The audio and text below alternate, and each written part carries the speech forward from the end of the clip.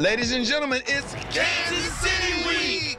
Yup, and the most talked about model right now has a crush on a celebrity raised in Kansas. You know Charlotte McKinney?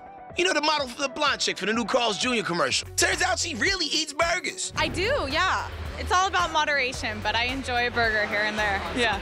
Well, that blonde bombshell just proclaimed her big celebrity crush is none other than University of Kansas alum and mega fan of the Kansas City Royals, Paul Rudd.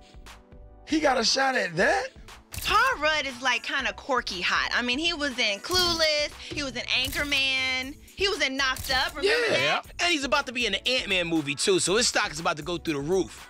Charlotte said, my celebrity crush is Paul Rudd. He's not that cute, but he cracks me up. I think he's hilarious. I think I'm the only one who has a crush on him. So it was like love and a diss at the same time. Exactly. It's like, man, you're not really attractive, but you make me laugh. And I think I'm the only person who likes you. That was me. That was me. That was me. Like, like you're cute. Hey, Ricky, can you come ride? This this in high school. When I was in high school, Ricky, come ride with us.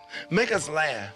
Oh, yeah. Nobody, nobody wanted to date me in high school. Nobody wanted to talk to me. Nobody saw the good in me. Oh, nobody no. wanted to be my girlfriend in high school. Come over and make me laugh and make me feel better. You're so great and you're so wonderful. You're so awesome. Man, I get sick of that man. that Baby, I heard you weren't subscribed to our channel. You better click on that button right there down below.